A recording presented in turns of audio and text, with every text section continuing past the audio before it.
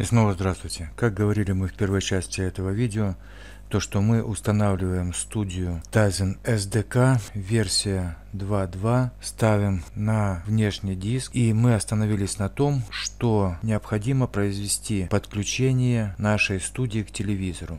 У меня телевизор был уже согласован, то есть на нем был включен режим разработчика. И сейчас в начале второй части мы вспомним, как включается режим разработчика. Для того, чтобы включить режим разработчика на телевизоре, нам необходимо узнать IP-адрес в нашей локальной сети нашего компьютера. Телевизор и компьютер должны находиться в одной локальной сети и быть подключены либо по Wi-Fi, либо по кабелю вместе с одним тем же роутером. Java должна быть ниже девятки, то есть 8152 хорошо подходит, 8162 тоже хорошо подходит. Но во всяком случае ниже девятой версии, потому что как на всех последних студиях, так и на этой разработчиками указано, что с девятой версии Java программа не работает. Итак, для того, чтобы найти IP-адрес нашего компьютера в сети в локальной, мы заходим любыми доступными для вас способами в панель управления. Затем проходим в центр управления сетями и общим доступом, открываем и смотрим то подключение, которое у нас подключено. У меня сейчас ноутбук и телевизор находятся в локальной сети по кабелю. Вот у меня написано интернет 2. Я кликаю по названию сети и открывается всплывающее окно состояния сети. Открываю вот здесь вот сведения и видите адрес IP4 это и есть вот у меня он 192, 168, 102. Это и есть IP-адрес моего компьютера, на котором установлена студия, Tizen Studio, адрес компьютера в локальной сети. И его нам будет необходимо ввести при включении режима разработчика на телевизоре. Для согласования телевизора с компьютером вам необходимо будет включить режим разработчика на телевизоре. Для этого вы заходите в Smart Hub, пультиком набираете цифры 1, 2, 3, 4, 5 и у вас появляется вот такое всплывающее окно на телевизоре. Вы переключатель ставите во включить, видите он написано, и здесь прописываете IP-адрес вашего компьютера в вашей локальной сети. Еще раз обращаю внимание, что у вас телевизор и компьютер должны быть подсоединены либо по Wi-Fi к вашему роутеру, либо по кабелю одинаково в одной локальной сети. И здесь, значит, прописываем IP-адрес нашего компьютера. Он у меня был 192, 168, 102. И Подтверждаем. И теперь необходимо выключить телевизор для перезагрузки, но выключить его из розетки. Не только кнопкой, но и из розетки. Потом, когда вы включите по новый телевизор, у вас появится такая вверху надпись. Режим разработчика там.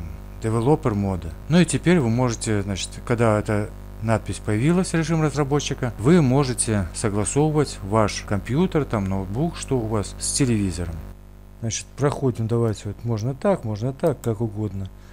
Можно здесь открыть менеджер, можно через Tools, менеджер девайсов. Вот он открывается. Давайте посмотрим, отсканируем, что он у нас найдет. Вот находит он моих два телевизора, которые сейчас включены. Этот телевизор у меня M-серии. Этот телевизор К-серии. Этот через кабель, это через Wi-Fi. У меня сейчас ноутбук включен по кабелю. Если я вот этот подключу, у меня будет ошибка. Вот смотрите, потому что он включен через Wi-Fi. Сейчас покажет ошибочку.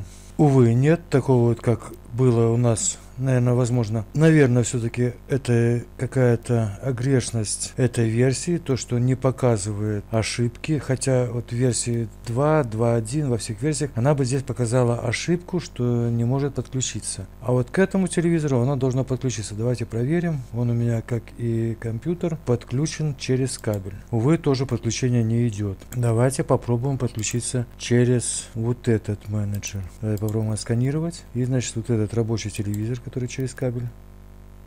Подключения нет. Давайте попробуем перспектива и reset перспектива. И давайте опять попробуем включить. Вот видите, подключение прошло. Соответственно, если бы не получилось так, то необходимо было бы выйти папочку, вот в эту, запустить по новой студию, только запустить не через вот этот файл, а вот через этот Eclipse. Через него запустить, и об этом мы уже говорили с вами в в нескольких видео наших предыдущих на студиях 2. Это хорошо все прописано на сайте разработчика, в особенностях данной студии. Вот вы видите, вот давайте я сейчас включу этот текст на русском языке. Сейчас перейду в другой браузер. Вот я в другом браузере. И вот вы видите, значит, на русском языке. И вот говорится здесь про известные проблемы.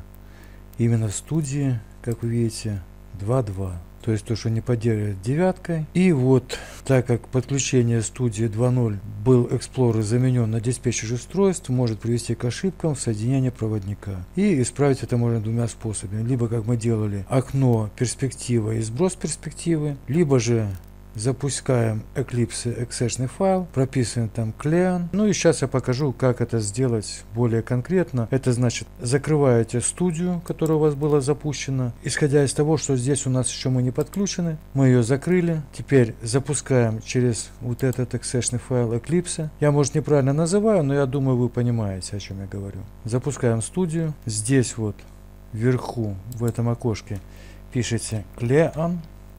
И вот видите, где вот здесь вот слово файл есть. Вот его кликаете, соглашаетесь. Ну, здесь у меня уже телевизор подключенный. У вас это еще он не включится. Вы закрываете студию и перезапускаете по новой через эксешный файл запуска студии. Запускаете студию и она, она у вас будет подключена. Ну и сейчас давайте через эту студию попробуем какой-то файл закинуть. Давайте сначала попробуем создать новый проект. Так, открываем файл. Импорт. Tizen. Tizen проект. Следующее. Выбираем архив файлов. Находим, где у нас виджет файл есть. Ну, я иду по принципу сейчас самого простого через виджет файл. Вот он он. Я его открываю. Следующее.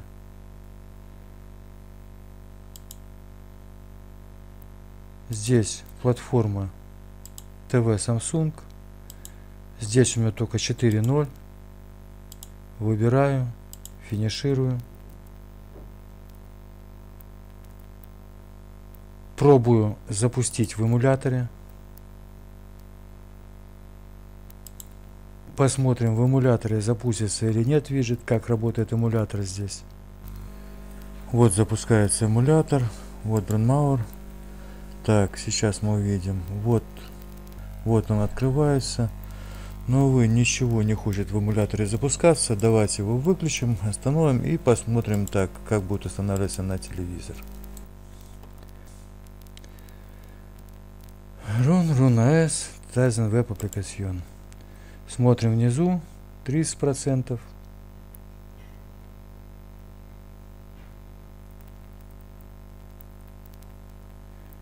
У нас пока еще нет сертификата. Давайте получим сертификат. Запускаем менеджер сертификатов. Можно через ТОС, можно вот здесь, где я вот сейчас вот прошел. Можно вот так вот открыть менеджер сертификатов. Вот, запрашивает профиль. Мы соглашаемся. И, значит, получаем новый сертификат. Плюс получим тазиновский сертификат. Как-то назовем его, как всегда, тазин. Далее получаем новый сертификат. Здесь имя, автор тоже пишем. Вы можете как-то по-любому, по-своему. Здесь прописываете пароль, восьмизначный какой-то минимум. Здесь повторяете. Следующее. Здесь у вас запрашивает, хотите ли вы изменить сертификат дистрибьютора, либо вам надо публичный сертификат. Вас это устраивает, вы финишируете. Сделать активным. Да, сделать активным. Вот у нас профиль Тазин активен. Вот сертификат автора, вот сертификат дистрибьютора. Закрываем. Сертификаты есть и теперь закидываем на телевизор. Закидываем. Вот пошла загрузка. 58%. 62%. Все. Приложение на телевизоре. Так что кто вновь устанавливать будет студию версии 2.2, знайте, студия рабочая. И само, наверное, кого-то заинтересует то, что сегодня мы первый раз устанавливали студию не на сам компьютер, а устанавливали ее на внешний жесткий диск. И как видите, студия работает, ничего страшного. То есть, если у кого-то мало места на компьютере, есть винчестер, можно на винчестер закидывать и спокойно работать. На этом на сегодня все. До свидания. Заходите, подписывайтесь, не пропускайте рекламу. Просмотр рекламы – это ваше спасибо нашему каналу. До свидания, до новых встреч.